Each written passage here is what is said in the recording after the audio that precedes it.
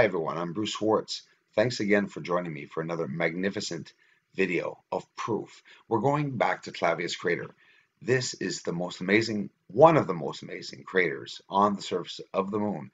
We are in the southern highlands. This is Clavius crater and it's a crater that atop this crater are several craterlets on top of them that go from large to small. This is astrophotography. This is not footage that I was filming live. This is a snapshot, do you understand, of the telescope footage. We're traveling right now through the photo, the still that I took, the clarity that's in this photo, the perfect still frame that I took out of the best of the three that were at that section of the video. This is what we're seeing on the surface. You know what? I'm, I am seeing a lot of symmetrical buildings, building-like structuring, but look at all what looks like mechanical devices or connections, or listen, it could be, it could be completely sealed um, environment. And where am I getting these hypotheses and speculations and assumptions, if you want? I'm getting them through what I'm finding. Basic facts and using common sense from what we're seeing here on Earth in overhead photos and what we can predict we're seeing on the surface of the moon. There are too many signs, guys, on there for us to let this go. I'm not here to change anyone's religion. I'm not here to change anyone's belief or views. But you guys, with due respect to you all, have the right to know what is up there because I do believe that it does affect um, some of your religions. And why, why do I say some? I mean, some of you are very religious. I respect that. And it will affect you, okay. But presenting it this way, I'm trying to present it in a way not to laugh at religions, not to, and why would I? I don't find religion funny. Religion, so long me, was something that was made to help people remain civilized and to have reason to do good in life. What's wrong with that? And you know what? I don't have to be religious to say that because I don't consider myself religious. I don't believe in terms. I consider myself very, very spiritual because I've had very many spiritual encounters and I feel comfortable today talking about that. By talking about it, the few that do, it will make the others maybe come out and talk and express themselves more about their spiritual encounters. I feel very blessed to have the chance to share all of this with you and to have had the chance, obviously, to see this for myself because as a spiritual person, what I'm seeing right now is changing my life. But it's changing it in a positive way it's giving me, um, you know, the idea of that the universe is so vast. How can we be all alone in the universe? It's just absolutely impossible. It's ludicrous. We're seeing a lot of symmetrical structures right here. Please enjoy um, a couple of tunes that I've whipped up myself, tunes that I enjoy making myself. I'm a musician, I use instruments myself, and this is digital instrumentation. Please enjoy. And guys, this is Clavius Crater. Look at the best shots that I have of, with this astrophotography. Again, I'm not trying to stump anyone to make you guys think I'm filming live and in color. I do. I have videos live in color. So please enjoy the videos. Guys, it's late and I don't care. I'm feeling great. I want to film more uh, stuff. I want to get more stuff up. I didn't get the moon tonight. Very disappointed. No snow, just clouds. We got tomorrow. Thank you.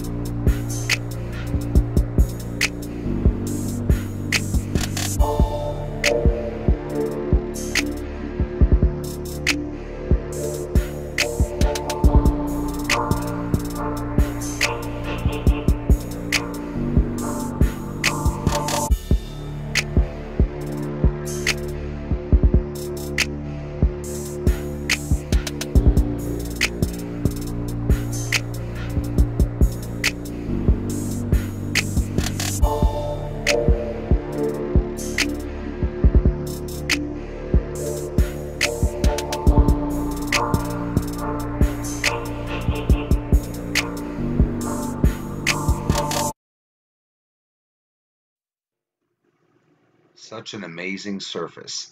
We can see the complexity in it, right? It's connected, a lot of connections, and these long tunnel-like corridors, I call, that go from, you know, maybe 10, 5, 10 miles, maybe 10, 15 miles, more or less, to go to other areas, and you can see them, the connections, many different colors, and let me note that each of the structures are different colors, not blurry patches over top of structures. We're not seeing color over top of any structure here. We're seeing individual colored structures. We're seeing green surfaces, both dark, light, you know, pastel light greens, like we see here on Earth. I can't help but compare the two.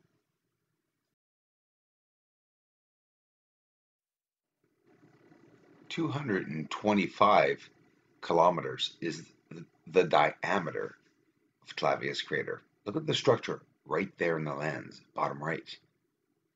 Massive pipe or tunnel, or probably even maybe a building, but like I say, or structure. We can't see exactly from here even if it has round or straight edges, but it is a symmetrical structure. The connections are there dark object. Here we can see pipes and different um, directions of all the anomalies and structures. It's almost overwhelming, is it not? And the color is very natural. Look very closely at how the color cuts off at each structure. Very clean. So do the transfer from kilometers to miles, 225 kilometers. It gives you a really good idea of how big these darn structures are. We're talking about structures that are as long as a couple of miles, even a couple of kilometers.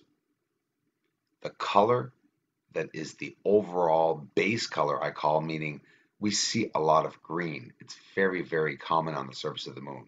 We also see it in many, many astronomers at both professional and amateur, which, sorry, but so long me, I've seen a lot of professional amateur astronomers in photography.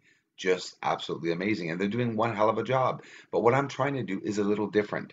That's why maybe some of you don't appreciate it. But I'm not here to steal anyone's uh, flag, you know? Well, um, uh, speaking of flag, could you imagine how close we would have to be to be able to see a flag on the surface. Say to yourself, that little building there, if there's a flag in front of it, the telescope will not pick it up until, unless, you zoom in close enough so that the telescope and the HD can, you know, pick up the actual structure or anomaly and we'll show it to you. A lot of buildings in here, guys. Look around. So a good rough idea if there was a straight highway across Clavius crater, guys, we would take uh, it would take us in a car at 100 120 kilometers an hour, probably anywhere from three and a quarter hours to four hours to get across Clavius crater. That's pretty impressive when you think of it. So imagine all the structuring and not just that. How many houses will here on Earth will we pass by for 225 kilometers? A lot of people. Could that civilization that's up there, where we say that, I mean, the moon could be Earth, right? No, I'm just talking hypotheses, but come on, guys, join in with me. What if it was? Because I'm trying to integrate in my hypotheses if a lie was presented, where would it be? Where would that lie be? Because I believe history now is the complete truth, but reversed and or backwards, meaning what they say is up, we have to really check to be sure that it's not actually down. And what is in, well, you know, it could be out.